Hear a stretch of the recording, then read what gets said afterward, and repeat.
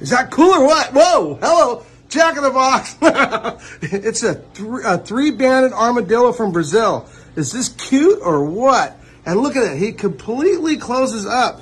The, the United States ones can't completely close up. This one actually has armor to protect every last bit of it. Look at that.